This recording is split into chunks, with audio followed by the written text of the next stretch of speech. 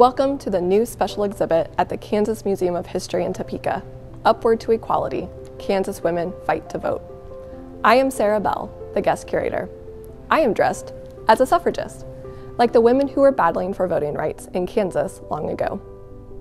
This exhibit was created to commemorate the 100th anniversary of the 19th Amendment to the U.S. Constitution and the courageous women who made it possible. The title of the exhibit comes from a quote by national suffrage leader Elizabeth Cady Stanton The history of the past is but one long struggle upward to equality. Governor Laura Kelly greets you when you arrive with an encouraging message about this important piece of Kansas history. So, why did women want the right to vote? It seems obvious to us today, but it was a battle in the 19th century. Some reasons were they were subject to laws that they had no voice in making amounting to taxation without representation. A democratic government should not exist without equal rights for all. Without the vote, women saw themselves as classed with minors and people of unsound mind. Women would bring a much needed morality to politics, and women had political views and agendas they wanted represented, to name a few. Many women worked for women's voting rights, but they did not all do it in the same way. Who Am I in the Struggle for Suffrage is a quiz where you can learn how your skills and interests match with one of 16 people who had a role in the campaign. The exhibit is a chronological history of the suffrage movement in Kansas. It took roughly 58 years, from the territory's founding in 1854 until 1912, for women to gain voting rights. Their route was never easy or direct. The exhibit also highlights Kansas women who worked on the national level for the successful passage of the 19th Amendment in 1920.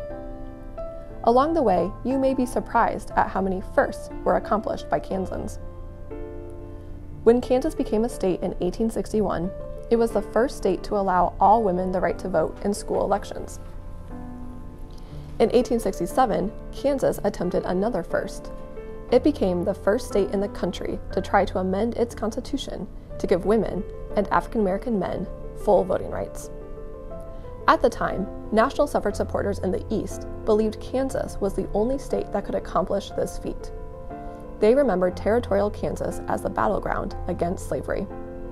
And the same abolitionists who came to Kansas to make it a free state also supported women's rights. One of these abolitionists was Clarina Nichols, she and her family left Vermont with the New England Emigrant Aid Society. This group of staunch abolitionists moved to Douglas County.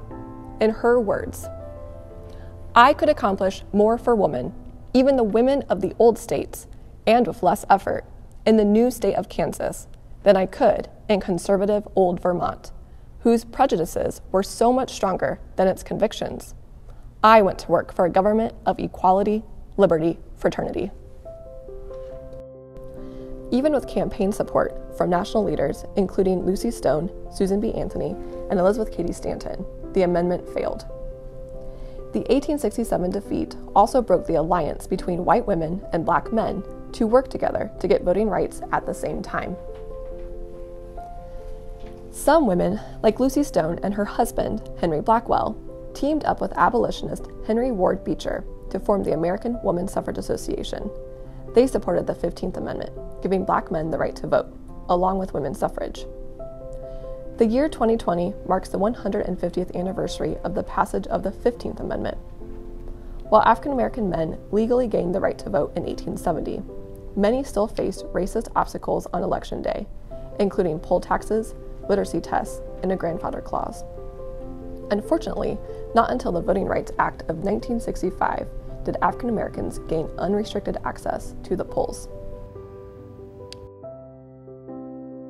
The Women's Christian Temperance Union, or WCTU, worked to advance women's voting rights, in addition to its major focus to promote prohibition.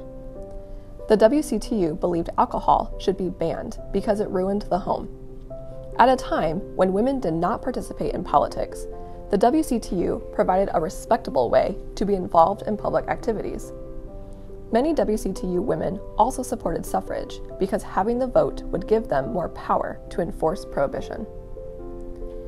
The debate over the ban on alcohol would have a major effect on the women's suffrage campaign. In 1878, voters elected Republican and Prohibitionist John St. John as governor. As the new governor, he called for decisive action on the liquor issue. Kansas became the first state to ban alcohol by constitutional amendment. Democrat George Glick was elected governor four years later. Glick thought the state's stern prohibition law was too extreme and failed to serve its purpose.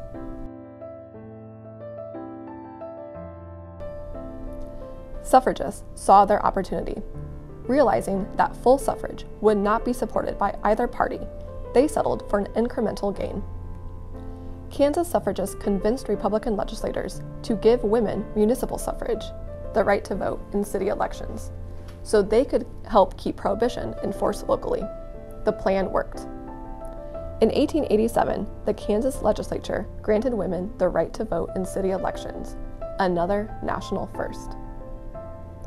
The same 1887 law granting municipal suffrage to women also guaranteed their right to run for city offices. Syracuse elected an all female city council in April 1887, a national first. Susanna Salter from Argonia became the first woman mayor in the country. At this time, the National Woman Suffrage Association adopted the color yellow for their suffrage badge, the color of the Kansas sunflower. It was to honor Kansas as the most progressive state for women at the time. Not everyone, however, believed women's suffrage was a good thing. Marsh Murdock, founder of the Wichita Eagle and city leader, wrote regular editorials against it. Murdock argued that women should not vote because God had placed them in the home, not in public life. Furthermore, women should not need to vote, as men would protect women's interests at the polls. Building on the momentum from securing municipal voting rights, Kansas women positioned themselves for another attempt at full suffrage.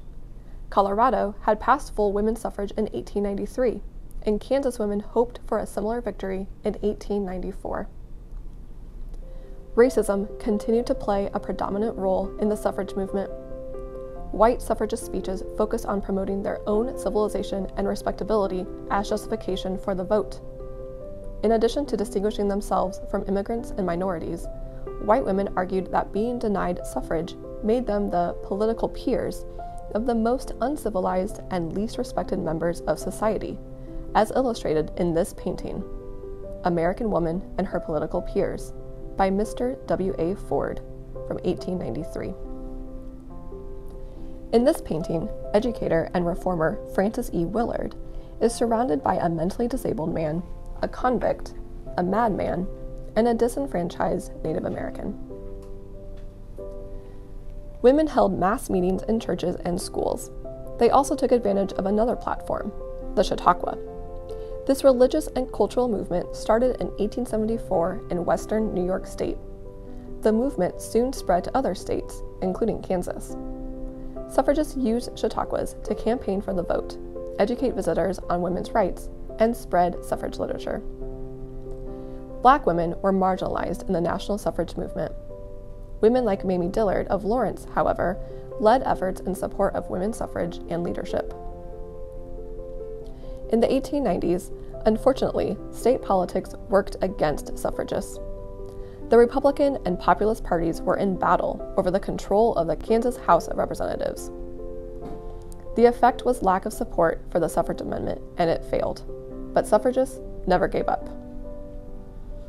The world of politics was changing dramatically at the turn of the century.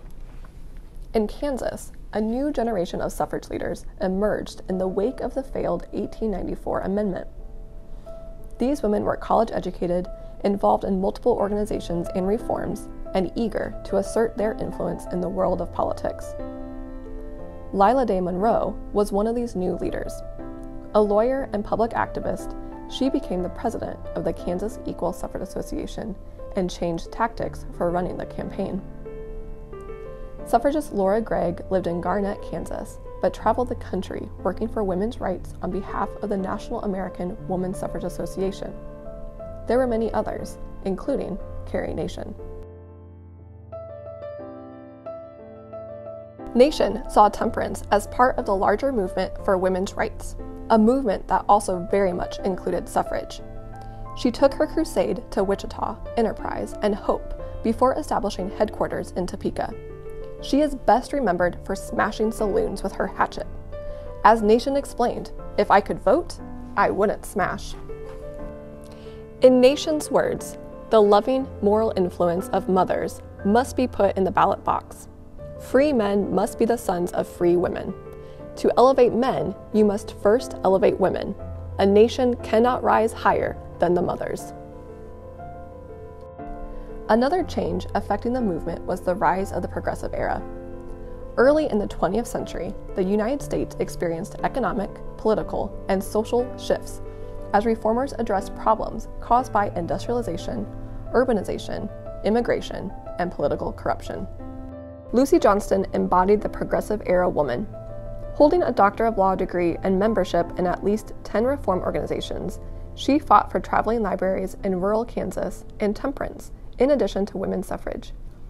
When elected president of the Kansas Equal Suffrage Association in 1911, Johnston proved to be an effective and well connected leader. Her husband, William Johnston, also a supporter of women's suffrage, served as Chief Justice of the Kansas Supreme Court. Elected in 1908, Republican Governor Walter Stubbs also favored women's suffrage. In January 1911, a majority of both houses voted in favor of the suffrage amendment. The second step, a signature from Governor Stubbs, was easily accomplished. It was time for the third and final step the people of Kansas would vote. On November 5, 1912, Kansans went to the polls. After waiting through a stormy night, suffragists woke to a sunny morning and the news of victory. The constitutional amendment had passed. Kansas became the eighth state in the nation to grant women full suffrage. After decades of work by countless women, Kansas suffragists had won. Victory celebrations extended well beyond the state activists across the country saw Kansas as another step toward a national women's suffrage amendment. After winning in 1912, Kansas suffragists turned their attention to campaigns in other states and at the federal level, often working at the direction of National Association President Carrie Chapman Catt. Leading suffragists disagreed about which tactics would bring victory. Alice Paul, leader of the National Woman's Party, borrowed militant tactics from the British. She called for women to protest, make a scene, and get arrested. Some engaged in prolonged starvation diets until they were force fed. Nina Allender, originally from Auburn, Kansas, designed this Jailed for Freedom pin, a small silver prison door with a heart shaped lock, for Alice Paul in 1917. Effie Boutwell, from Topeka, imprisoned for her efforts, was the only Kansan to have received this pin. Carrie Chapman Catt, president of the National American Woman Suffrage Association, used a different tactic. She worked with state legislators and state organizations to bring about a federal amendment. Many called it the winning plan. American entry into World War I in 1917 influenced people's opinion about voting rights for women. Women took on new roles left empty by men in service. In Europe, women served as ambulance drivers, aid workers, and nurses, like Martha Keaton, a graduate of Christ Hospital Nursing School in Topeka. Stateside, they filled the jobs left behind by men fighting overseas. By 1918, the publicity drawn by Paul's protesters and the shifting politics created by Catt's campaigning had swung momentum in favor of an amendment to the U.S. Constitution. Driven by pressure from the suffragists and recognizing the realities of World War I, President Wilson finally came out in support of the amendment. In 1919, the U.S. House proposed the Susan B. Anthony Amendment, granting women full suffrage. It cleared the U.S. Senate by two votes on June 4, 1919. One hurdle remained voting by the states. Kansas became the fourth state to ratify the amendment. On August 26, 1920, the 19th Amendment became law. The suffragists had won. Kansans elected their first female state legislator, Minnie Grinstead, from Seward County in 1918. The next year, Lorraine Elizabeth Wooster was the first woman elected to the office of Kansas Superintendent of Public Instruction. While Kansas women have made great strides in the last 100 years, there have continued to be many firsts in recent times. Voting remains as important today as it was in 1920. Marion Kirk King appreciated that right, as retold by her granddaughter. Voting was not a duty for her, and not something she ever postponed or evaded. Voting was a right, a privilege of her citizenship, and something she prized.